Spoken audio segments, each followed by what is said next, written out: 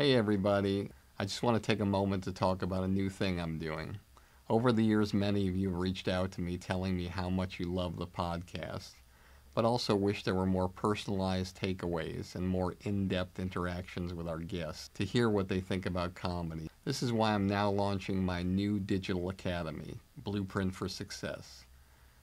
With exclusive interviews and comedy philosophies of stars and industry veterans, personalized versions of the industry standard podcast, commercial free, and one on one coaching time with me.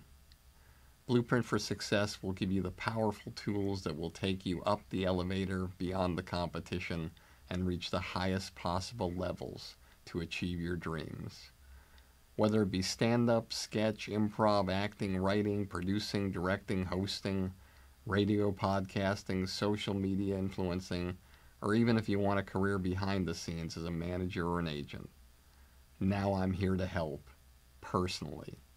We'll go on an express train of comedy and entertainment like nobody else has before. You can find out more about Blueprint for Success in the comedy business on my website at barrykatz.com. Together, we'll take your career where you want it to go. A lot of the shows that are on the air now that the hosts don't commit completely. The the producers all want to get home and have real lives. You know, the writers on the Letterman show would be there all night. The bookers, we a drop a guest would drop out at the last minute. They'd be hustling all over town, you know, at, at all hours to, to, to fill those holes. Uh, it's a lifestyle. It becomes a lifestyle.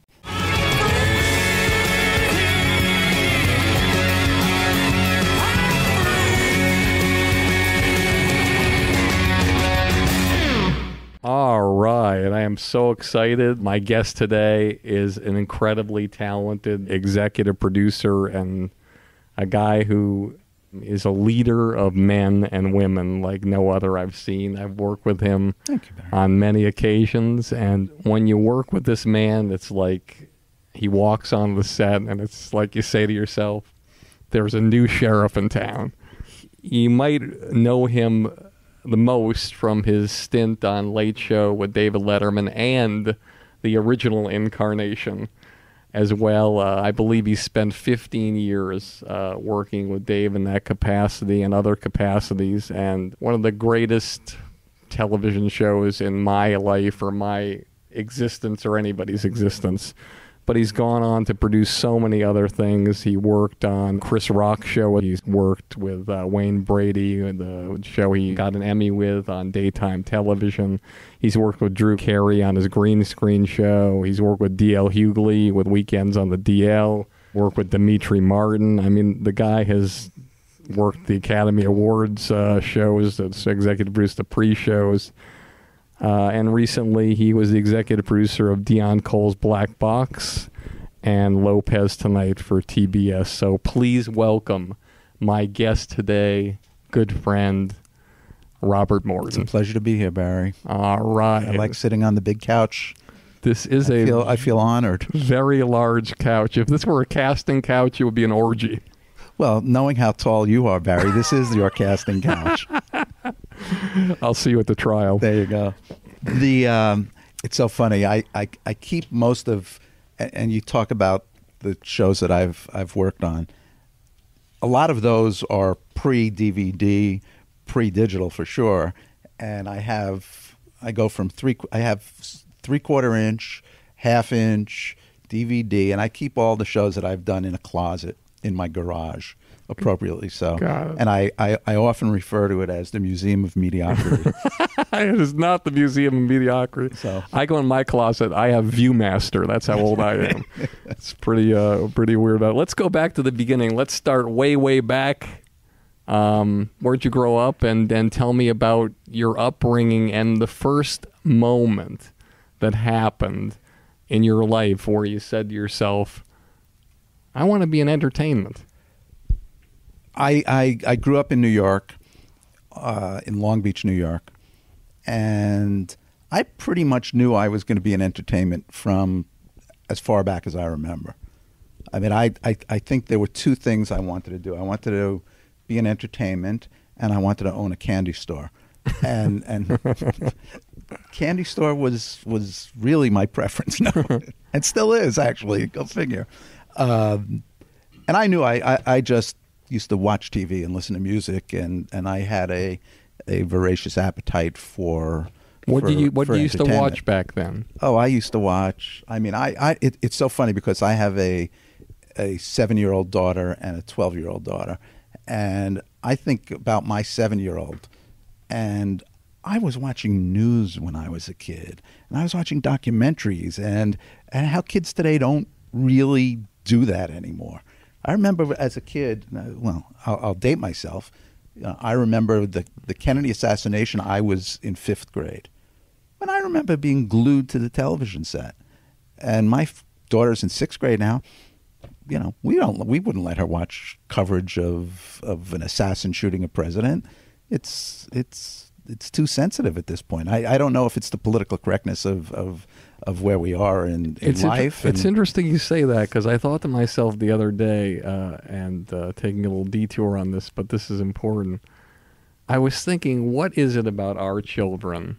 They're ahead in every single capacity, but what is it they're all behind in? And I figured it out. When we were a kid, we got to watch those things. We got, you know, it was like, uh, hey, mom, dad, listen, I'm going to Joey's house. Uh, where's that? Oh, it's three miles down the road through the woods, the mill yard, and you take a left, and I'll be there all day, and I'll come back for supper.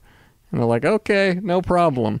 Nowadays, you can't even like you you you're in the school with it fenced off with locks everywhere, and you're looking around to see where your Yeah, kid is. yeah. And and our kids, the only thing they don't have is independence that we had, and I wonder how that's going to affect them in terms of their careers and things. Oh, like it, it will absolutely affect them. They also, I mean, they won't be dealing. You know, by the time my kids are old enough, I always say that the the, the best business people that came out of my generation were the drug dealers. well, I that's mean- sort of like a candy store. I mean, I mean, all the drug dealers that I went to college with all became very successful guys, and it was about they had big business acumen. They had to be a high level of confidentiality. They were dealing with with a lot of money.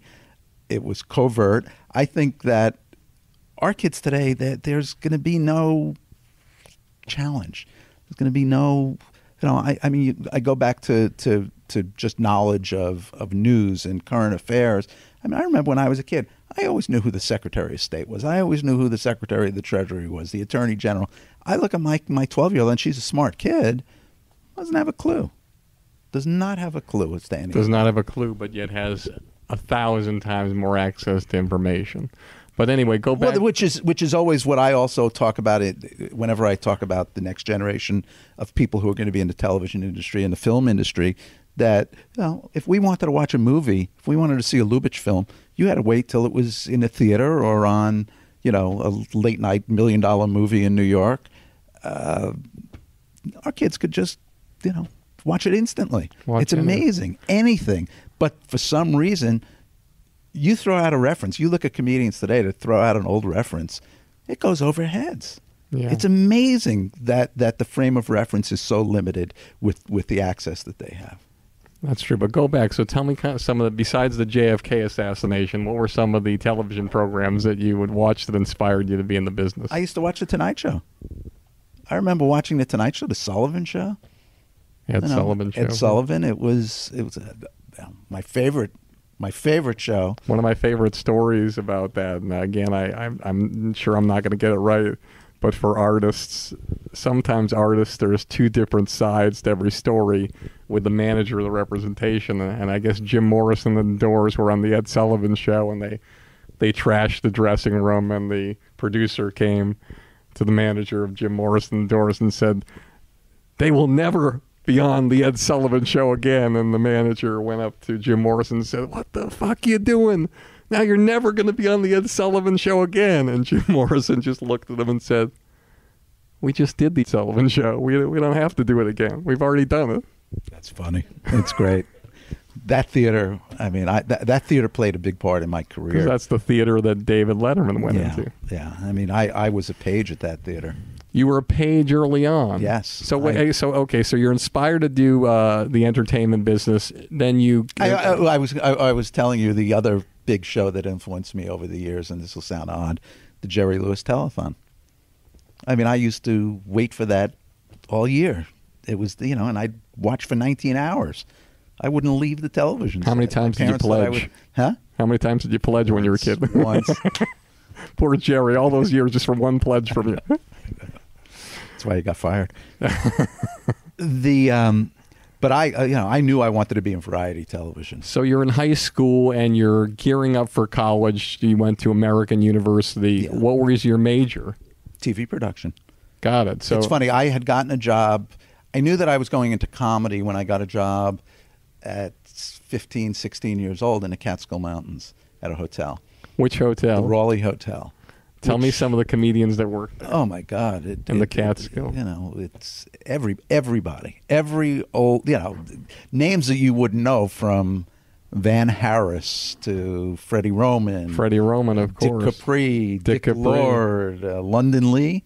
Do you remember London Lee? I remember Dick Capri and Dick Freddie Capri, Roman. London Lee, Because Freddie Roman, Arnell. Because Freddie Roman actually was one of the people who helped sell the roast to Comedy Central when I was. Uh, He's a working. lovely man.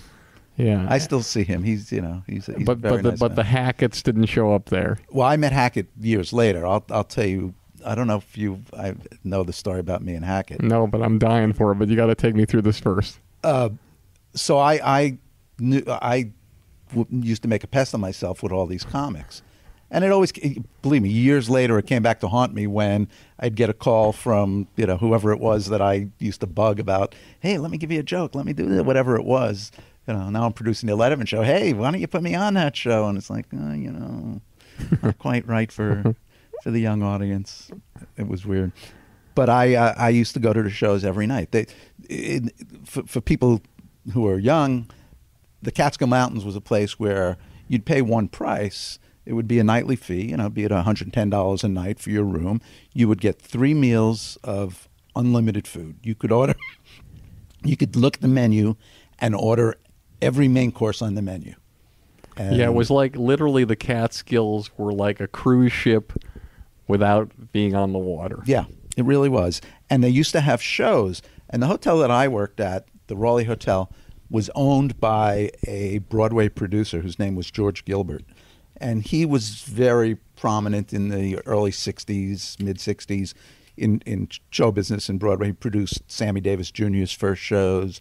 So there was a rich showbiz tradition at, at this hotel. And they would have two shows a night. The first show would be an early show, which was probably on at about nine, if I remember correctly. And it was usually a singer and a comedian, or vice versa. Comedian opens singing club. And then there would be a late show, which was always a dirty comedian. It's, it's. I remember uh, big Lenny Schultz was, was, was Lenny Schultz was the chicken man who um, we just uh, uh, Chris Albrecht was telling me about. That was that was one of the first people he represented with Eddie Murphy, Billy Crystal, and uh, Jim Carrey, and Lenny Schultz was his one of his other clients. Yeah, no, and it's it's funny, and I knew Lenny from from there when he used to do these, you know, one o'clock in the morning shows, and he used to start out with a small audience, and then after you know six months, the word got out that this guy's the craziest guy. He would fill a room, you know, one in the morning, packed nightclub of people coming to see him. And you know, i you talk about formulas in comedy and how things are and the way things work and sort of the recycled formulas. People think like when they see Def Jam or they see a show that's like a dirty comedy special, they think, "Hey, well, wow, this is one of the first ones ever." But back then at the Catskills, that was the original like uh, nasty show from the Montreal Just for Laughs festival. The Catskills were it, it was a crazy place because it was an old it was predominantly obviously mostly Jewish called the Borscht Belt. It was mostly Jews from New York City. Uh, people who came post-war looking for cheap vacations. It was not an expensive place. But for some reason it was driven by comedy and Latin music. Every hotel had a Latin band. and that and I don't know why that, no, Jews that and Latin music are so closely associated, but they are. Oh, well, as Jon Stewart might say in a stand-up, he says uh, between uh, black people and Jews, he never understood why they couldn't get along because they, they shared the same pain. You know, but the only difference was that black people learned how to put it to music. uh, but Latino, the the Latino thing came from I imagine the Luce, uh, the Lucille, whatever you call it, the Lucy show with uh, with Desi Arnaz. Oh no, it was way before that. It was way before that. What do you mean that show was on in the fifties? Well, I'm talking about you know Latin music in in the 40s. No, I'm talking about it the, when you were there at the Borscht. No, no, but I'm saying there was oh, Oh, every yeah. Latin music was was the. I, I often think of what the rhythm of, of, of the Catskills was because it's really hard to explain. I try to explain it to my wife, who's younger and who came from California. I try to tell her about, about what the Catskills were like, and you know they have a picture, but it's you can't express how how exciting it was, especially as a young kid. And tell me the first comedian you saw that went on in front of a crowd and just, you know that, because one of the things I've talked about is like when I first listened to the first album, comedy album that that moved me was Bob Newhart, and when you listen to the album. It was so cerebral, and there were so many titters of laughter, and it it wasn't that he wasn't killing, but it was so it was such like it was almost like a you know at a yacht club. It's like oh that was nice whatever. And the first time most everybody who is in our audience probably saw a crowd actually double over and and literally lose control of themselves physically is probably the early Def Jam mm-hmm. show is mm-hmm. where a comic would go on and literally the audience was it was like the wave was going inside the crowd but I know the Catskills were known for shows where literally people lost their minds in the audience. And who was a comedian? Hey, everybody. I hope you're enjoying this episode as much as I am. If you made it this far and you haven't fallen asleep yet, then you must be the type of person who's serious about having a career in the comedy business. That's why I'm offering you my Blueprint for Success, a one of a kind all access pass into my knowledge and experience after over 40 years of working with the best of the best in this crazy entertainment industry. I'll tell you all the stories, all the philosophies, give you all the great special guests, and even give you one on one private consultations to help you expand, enhance, and skyrocket your comedy career. Just go to barrykatz.com and click on Blueprint for Success to learn more about my groundbreaking digital academy that I've created just for you. With it, we can take your career so far that one day, instead of listening to this podcast, you'll be interviewed on it. And the first comedian you saw where you saw a crowd just completely obliterated. Hackett for sure. Hackett, Buddy Hackett. No, no nobody comes close. He used to say to me that I always asked him, like, who is the uh, greatest comedian that you think ever lived? He said, me. No, he, he And- was and very proud of that. He told me that in 1953, he was making $175,000 a week in Vegas. That's how popular he was. And he said he did the, the first two HBO specials, which is probably true, yes. Yeah, oh, I'm sure. I'm sure. Oh, I remember him. Well, well, I I met him when I was in college, and the, I remember the first time I went to Las Vegas. He was. He, he said he was the executive vice president of the Sahara Hotel, and they probably gave him a piece of the hotel for performing there. He was making that much money at the time, and on the top of the tower at the Sahara Hotel, I think the building's still standing. There was painted on on the the, the facade was in they, they were probably ten foot high letters. It said Buddy Hackett. Whether he was working there or not, his name was on the hotel. and it was the craziest thing ever. You just drive by the Sahara, and Buddy Hackett's name was was up there. He was he was wild. I mean, he. I met him. I, I was saying I I used to do a radio show in college similar to this. I'd interview comedians, and I got you know it's it's when I first met Robert Klein and Hackett and George Carlin and Cheech and Chong. I used to. I had a relationship. I went to school in Washington, and there was a chain of, of, of theaters. You remember the, the music fairs? Yes. And there was a Westbury Music Fair, and there was one in just, just so our audience knows, these theaters were predominantly in the round. They were outdoor venues, but they were tented off, and they were indoors, but they were normally in a tent. Some of them were built as facilities, but most of them And it was tents. 360 degree arena, and the stage rotated. always in the middle and rotated. And so there was never really a bad seat. You know, the comedians and the singers would have to, you know, be disoriented. I remember the road, they had to light up the single road to the dressing room so they had some orientation where they Yeah, were. Yeah, and you never knew where you were when you came around. And just to let you guys know uh, about something about in the round from another perspective that I learned when I did uh, the Dane Cook special and tour. It's a fascinating thing if you're on the other side of the business, if you're a promoter listening or somebody in the business who wants to get into this. When you're doing a regular theater that's a proscenium, which means the stage is on the end and the seats come out if you have an artist that let's say is selling three quarters of the seats your venue is going to look empty or it's going to look very empty. But if you do a show in the round what people don't understand is the seats around the stage are maybe there's 25 seats that go around the stage and the next row maybe it's 35 and the next row 45 you get to the last row of the theater and you're in Madison Square Garden, that last row of the theater could be 2,000 seats, could be a thousand seats. So you can you can go into a place like Boston Garden or something like that, like Dane did, and God forbid you didn't sell out and you were 4,000 seats short. Literally, it might be the, the last five rows of the theater empty, and when you're looking out in the round, it's one of the most amazing things you can have as a performer. And these music fairs were incredible for performers. They learned how to perform in the round, and you were so close because what happens if you can visualize it?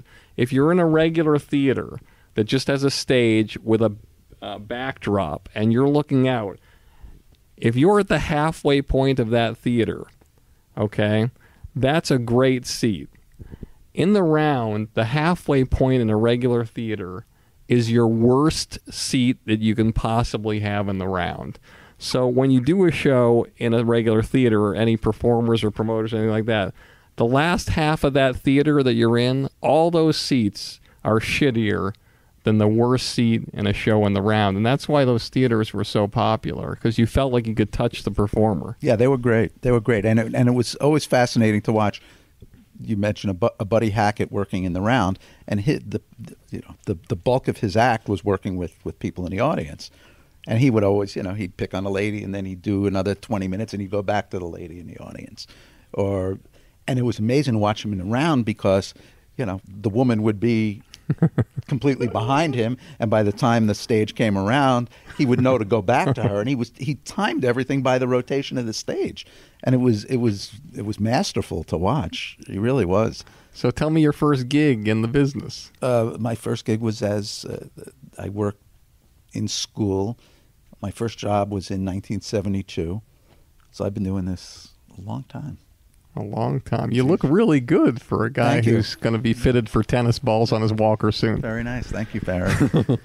uh, I, I worked on a talk show in, in Washington, D.C. That was uh, an afternoon talk show, and it was hosted by Maury Povich, of all people. Wow. So I've, I've known Maury for close to 50 years. And I remember, that sounds so weird to say, but I remember Maury was the first person I knew who was over 30.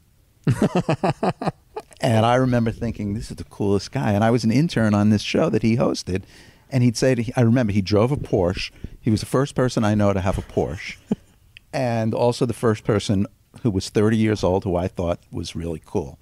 And he'd do the show. It was on from 12:30 to 2. He would finish the show. He'd take me in his Porsche. We'd go get lunch. We'd smoke a joint. Come back to work. And I remember thinking, "Wow, how cool is this guy?" and we've we've stayed friendly. He he was he was a you know a big influence on on my early career. And what came next? Then I I got out of school, and I came back to New York. Now, what what kind of existence were you living? Were you, I mean, did you you're interning? How do you survive? How do you? What kind of apartment did you have? What kind I of was life in, did I you was have? I was interning. At the same time, I was doing two radio shows on my college station. Uh, I had a second internship. but were you living at home or no, I was in, New I was away. I was I had a, an apartment that I shared with friends, Stu Smiley being one of them. Stu Smiley, Stu of Smiley course, was the my- executive producer of Everybody Loves Raymond. He was one of my college roommates, and An we- ironic name for Stu Smiley, Yeah. considering that he rarely smiled rarely at the time. And and we we were roommates in college, and then when we got out of school, he had transferred after his sophomore year, I think, and then we both got out and we stayed good friends. He went back to New York and got a job as a page at CBS, and he brought me in as a page.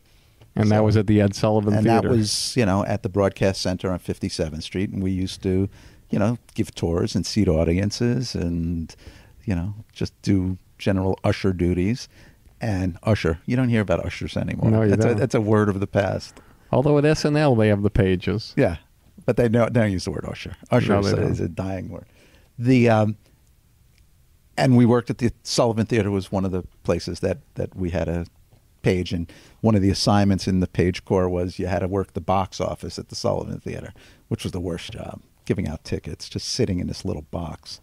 And then know, You mean that you're sitting in that that, that uh, uh, the little clear- box the with clear the cylinder, the little the box middle? with the hole in the and you used to have to just give people tickets to TV shows. I remember the clear cylinder ones where they had the clear cylinder. In No, the, those are the old movie theaters. Those are great. No, Yeah. this This this, was was, a very elaborate, beautiful. You know, it was a beautiful theater.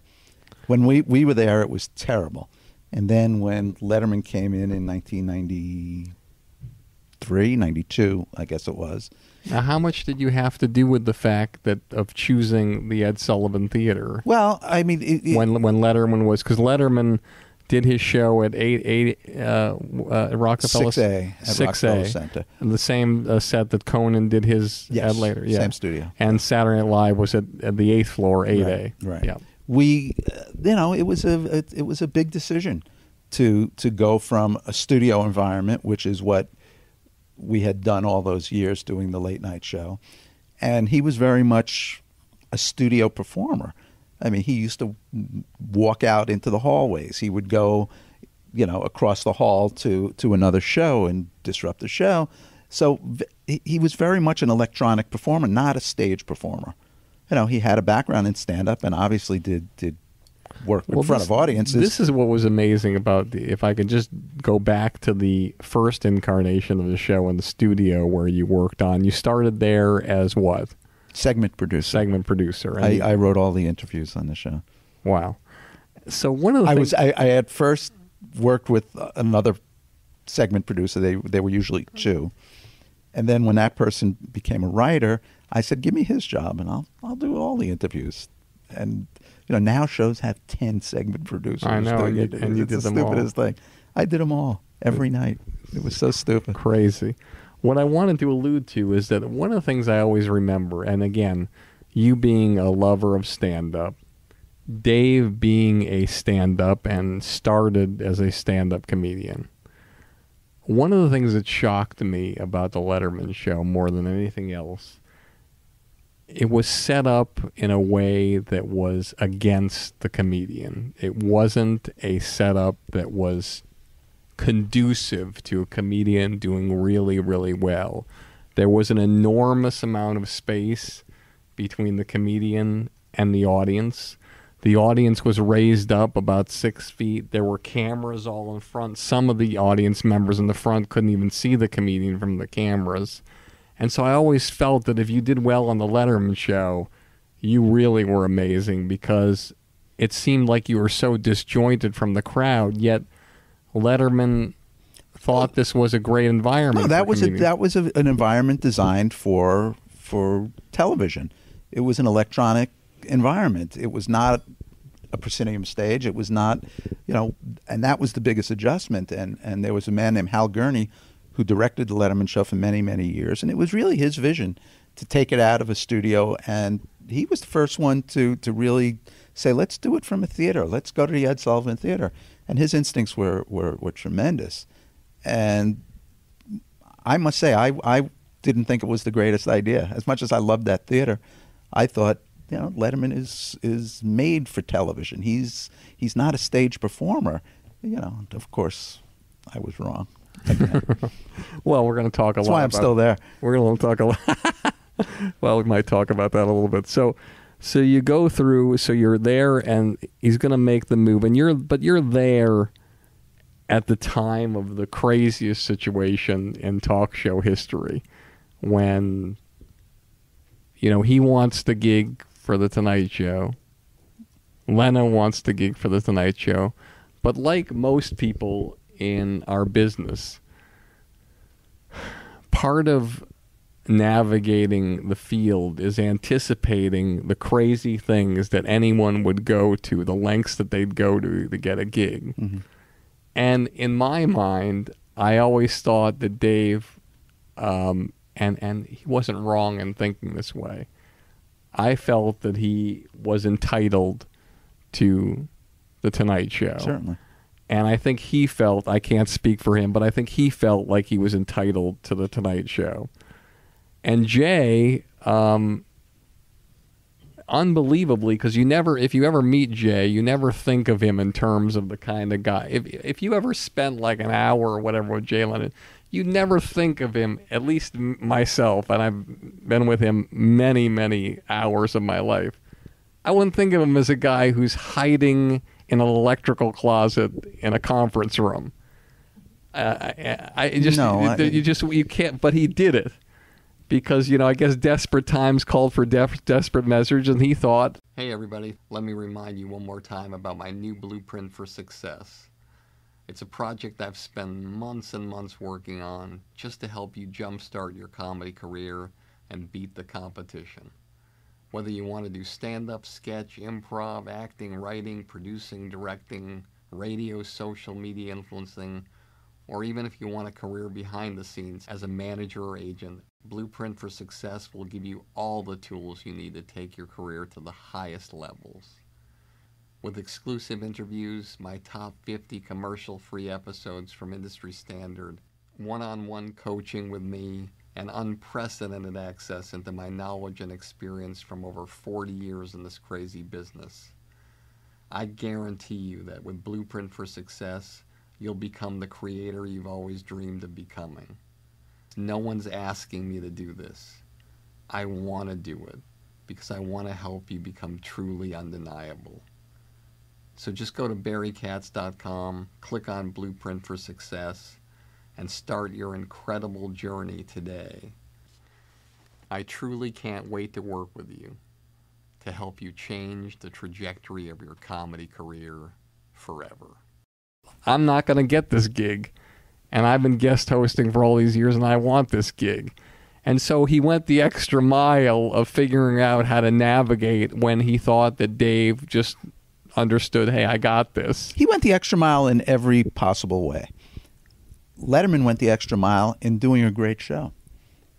Yeah. And I think it, it was a great lesson for me that you don't stand by the work alone. It's it's it's a political business, and yeah, it is a political business. especially And- when you you're and- answerable to 200 stations, and you have a corporate boss, a corporate entity Yeah, and Dave running was your company. It's, it's and Dave was the kind of guy who was just he did a great show, but he was not the kind of guy who liked to shake hands and shake corporate hands and talk to affiliates and do everything he could to make them feel like a million bucks. The people writing the check, the sponsors.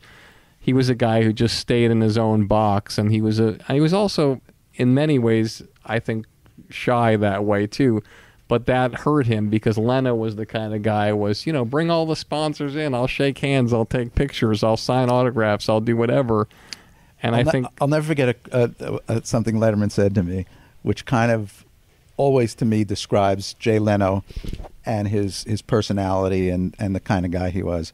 I remember once talking about car collections, and Letterman has a wonderful collection. At least when I knew him, had a great collection of of very sophisticated, sleek, you know, Italian, German sports cars, and you know, he had the, the Cary Grant car from To Catch a Thief, and you know, had beautiful, beautiful cars. And I once asked him about Leno's collection, and he said Leno has parade cars. and to me, it just it's it's so perfectly, you know. And I remember once seeing Jay Leno on on Victory Boulevard in the Valley, riding around waving at people in his Stanley steamer car, and you know, it was always just like that's what he was. Where Letterman would, you know, have get down low, pull his baseball hat, and didn't want to recognize anybody. Jay So- was very extroverted, and and and Jay's Jay's a great comic. Mm-hmm. Yeah. great comic. works about 200 250 dates a year so take me just i know we don't have i mean we could be here forever talking about this one segment of history but just if you can take me back to the moment when dave and your show realized holy shit we've lost the tonight show what the fuck are we going to do here I I I never had that that feeling. I know Letterman did. I mean, my my feeling was we're to do this show somewhere. If we have to do it at twelve thirty, we could do it at twelve thirty. We can continue. I never felt like there would be no David Letterman's presence on, on, on network television. I mean, I always thought that that that he was safe and secure. But I mean, the guy was basically he was grooming himself for over a decade to take the chair of his idol. You don't find out one day that you've lost your dream and you can never get it back and you still have to go to work every day No. and do shows how how did That was the hard part. How did I, he I handle think I think you hit it on the head. I think the hard part was knowing that you didn't get it, and we still had to go in night in and night out and do a good job for the network that just fucked you. I mean, that was all. That was the difficult thing. I think you know, from all reports and and recollections, I remember Dave being very, you know, stressed for a long time about it. But I don't I don't think he ever got to the point of of true desperation. But it was just you know there was that moment where you thought, why am I doing such a great show for these fucks who don't recognize what we're doing? And that was hard. That was always very difficult. and so And as a result, he used to put up. We, we did a whole thing where we'd make fun of Warren Littlefield and give him the. He uh-huh. was the president of the network at the time, and you know make him the employee of the week. And we would, you know, we were always on their case. and the move to CBS that opening night in that theater, that first show, I know Dave had a reputation of never being a hundred percent happy mm-hmm. with a show or how things were always felt like, hey, I could have done this better, I could have done that better. But take me after the show, that first show. Do you remember like how he was feeling? I think he felt great. I, I, I- remember it being emotional. I think it was a very emotional night for everybody involved. Uh, there was a sense of great reward, great relief, um, and it was it was very positive because he he really grew into the role and and I think and, and and I remember a conversation that we had and we were talking about how the new show would be different from the late night show. And I said you know the late night show was about failure. We celebrated failure on that show. If we had a mu- magician on who screwed up it would be the best thing that could ever happen to us.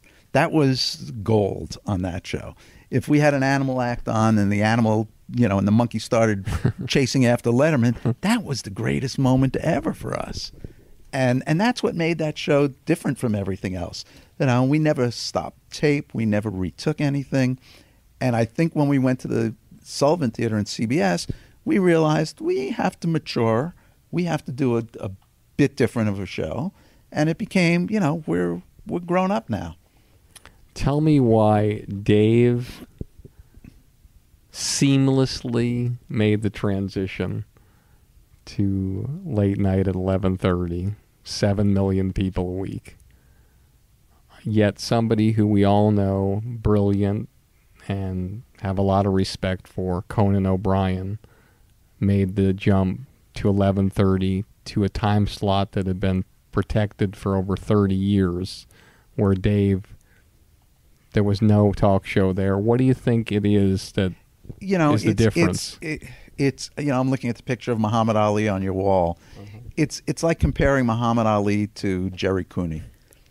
You know, it's it's it's it's you know, Letterman is the greatest. I think even more so than Carson. He's the greatest to do what he he ever did. He was he in, invented, you know, electronic communications for an entire generation. They they grew up with with you know him doing it was basically a video funhouse what he was doing, and as much as I respect Conan as as a writer and a comedic visionary, I just don't think he was half the performer that David Letterman was. Do you think if Conan were sitting here, he would say the same thing? Sure, sure. I think I think Conan would recognize. I think Conan would recognize the genius of Letterman. I don't know how. I don't, and I don't even know the answer to explain why he failed at the Tonight Show. I I, I don't quite know. Uh, but I did see Letterman adapt to an 11:30 time slot. I saw Letterman morph from from a niche performer to to the big room. You know, he he grew very well into it, and I don't know if if if Conan necessarily had that same path, that that growth path that Letterman had. Uh, that's not to say what he did wasn't fantastic. I mean, I I, I love Conan's work. Now, I always saw you uh, as an amazing face of the Letterman show. I mean, I don't think there was anybody that I knew in the business that didn't love to hang out with Morty, that didn't love to have conversations with Morty, that didn't love to spar a little bit and argue over why a guest couldn't get the show at a certain time. I always love a good argument. And sometimes you'd win, many times you'd lose, but there wasn't anybody that didn't love it. But then it came to an end. And when it was coming to an end, you know, sometimes you can see things coming. Sometimes you can't see things coming, like Leno coming in and hiding in a closet. Could you see your tenure there coming to an end, or were you like totally stunned when it all I think went you're I think you're always totally stunned. I think that's just the nature of, of the knockout punch. You're you're going to be you're going to be dazed a little bit. And the reason why I want to talk about this because of our audience, what's really important is that a lot of people listening, uh, if you are in our, our business or in any business, you get the shit kicked out of you. And you get the shit kicked out of you daily or monthly or yearly or even one big time. And, and sometimes you're sitting in the fetal position on the floor doing that thing that Curly did around in circles in mm-hmm. the Three Stooges with a shot in your hand, wondering what's going to be next. And I think it's important for our audience to hear, like, I'm, you know, let's face it. I don't even normally at the end of these podcasts I talk about somebody's lowest moment mm-hmm. and and and how they handled it. Clearly, that had to be one of the lowest moments of your professional life. So how did you handle it, and how did you, you know, figure it out and come back so strong? You know, saying I I I handled it by not taking it personally, even though it changed the course of my entire life. It was it was very interesting time because I was I always looked at myself as being defined by being the producer of that show, uh, having a great job in New York City, to really be you know between Saturday Night Live and Letterman, that was the top of the heap in, in New York at the time. It was you know pre Jon Stewart and pre Colbert. It was you know we were the only two games in town, and there was a great heady feeling about that. So getting fired from that position, your life changes as well as your professional life. And you know something, I was ready for for a life change. You know, I was in my 40s. I was still a bachelor. You know, I always wanted kids, and it, it kind of forces you because that's a lifestyle, a job like that, and those are young men's jobs. Uh, you have to commit completely to those, and I think that's part of the problem with a lot of the shows that are on the air now. That the hosts don't commit completely. The the producers all want to get home and have real lives. Uh, You know, the writers on the Letterman show would be there all night. The bookers, we a drop a guest would drop out at the last minute. They'd be hustling all over town, you know, at, at all hours to, to, to fill those holes. Uh, it's a lifestyle. It becomes a lifestyle, So that day, who tells you? Letterman. So Letterman, he calls you into his office. Mm-hmm. Mm-hmm. And he says, "We want to make a change." You know, and what, can't argue the point. It, it was, it wasn't confrontational. It wasn't. It was. I was. I was stunned by the punch, obviously. I'm but then again, I'm- you look back and you go, "All right." I look at that same picture of Muhammad Ali standing over. Who was that? Sonny Liston. Sonny Liston. Yeah, I should know that. Neil Leifer took it. I do know that. yes. Um, you know, Bangor, Maine. Sonny Liston might have been Sonny Liston might have been stunned to shit, but you know something afterwards no, he, wasn't realized, stunned because he took a dive. Oh, that's true. Afterwards, he thought, you know, maybe I didn't train the way I should have trained. Maybe I was a little old. Maybe this, that. You know, you see all the writing on the wall after you get knocked out. Yeah. Well, you're telling me the story, like I, like I'm getting emotional because I hear the story and I think to myself, like, if you know, basically, the guy who walks on water in late night comes and sit across from me and says, "We're making a change." First of all, you know how tough it is for him to walk in Mm-hmm. and have that conversation. I don't think I could. It literally, if I had the the wind knocked out of me, I don't think I could say anything if I wanted to Oh, say. you're anything. full of baloney. You know why you're full of baloney? Why? Because you've been fired by many clients. well, you know, and, and, and, and you know, to be a, a- an effective manager, you have to look at these clients as children. These are your family. That's that's you know that's what they say about the difference between a manager and an agent. You I know, thought it was five percent. You get to know the managers at five percent. Yeah, those were the days. Those were the. days. You know, you get to know the manager's family. They really are part of your family, so you, you know exactly what it's like. Yeah. It's a kick in the stomach, and then you get over it. It's a You little bit lower. It's a little bit lower and to the left. That's true. The kick. But you get up. You pick You do yourself get- up. and, you do yeah. get up. You know, uh, the, the, the good thing about it is, and, and, and the strange thing for me, I never don't- thought I you were going in that direction. and, and I don't know if it holds true for you with the clients that have fired you. I still love watching him. There was never a day that I stopped respecting him as as as a, a comedian and a host. He was always the gold standard, and never, you know, getting fired from that show never, never shook my respect for him as a performer. Got it. And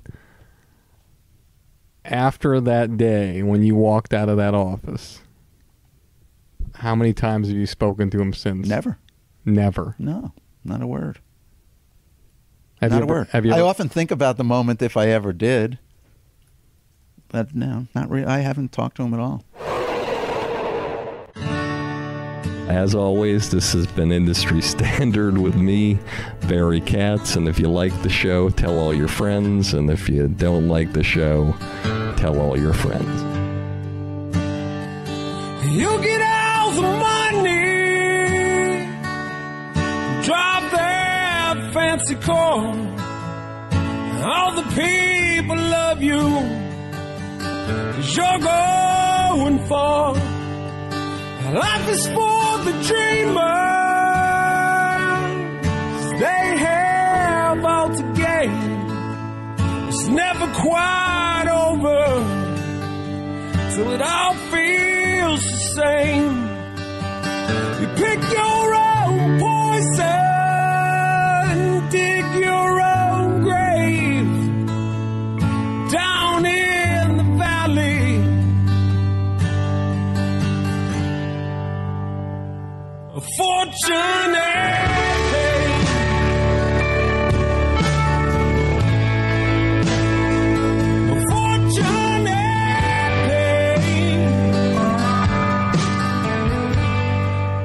Thank you for listening to Industry Standard with Barry Katz. If you'd like more info on our schedule of new episodes or how to reach Barry through Twitter, Facebook, or email, go to barrykatz.com. Before you leave, please take a moment to subscribe to our podcast, leave a comment, and rate it, even if you think it blows. Thank you for your support and have a great day.